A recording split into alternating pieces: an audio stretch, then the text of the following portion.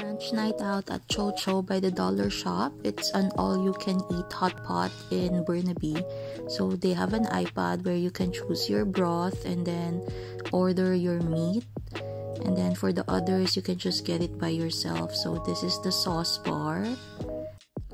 These are the veggies and they have also egg, tomato, some more veggies to put in your soup have ramyeon and fresh noodles as well. These are good. And then these are the seafood choices. They also have some balls there.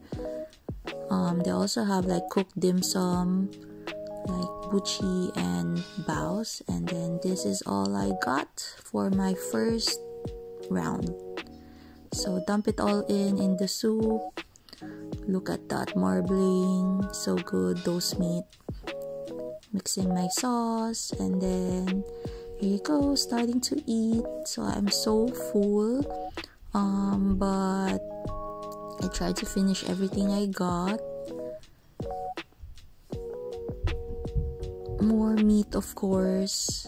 So this hot pot uh, we paid for about $60 per person because we're a big group so we need to give at least 20% tip there's also a two hour limit. So this is the dessert bar, but I wasn't able to get any from those. But of course, it's a Dolar Shop, so I had two servings of this ice cream. Bye!